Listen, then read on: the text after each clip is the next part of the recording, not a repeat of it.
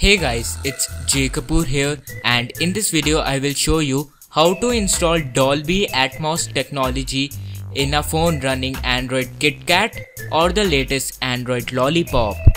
Dolby Atmos is the next generation of Dolby Digital Plus. Dolby Atmos is a sound mod which will increase your speaker volume and it will give you the best sound experience. So before installing, your phone should be rooted and you should have a custom recovery like CWM or TWRP installed.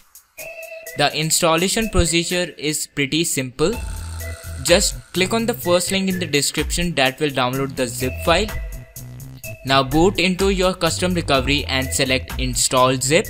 Then locate the zip and select it then swipe to flash. After the zip is successfully installed, click on reboot system now. So that's it, Dolby Atmos is installed.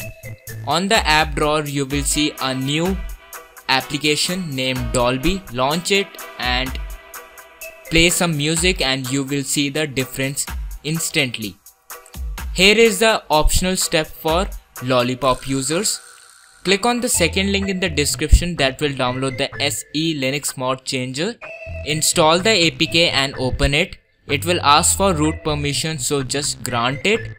Now just click on permissive and click on the home button. Now the Dolby Atmos should work for you. Thanks for watching this video. If you like it then please click on the like button Click on the subscribe button if you want to see more videos. Feel free to share this video with your friends who are running KitKat or Lollipop.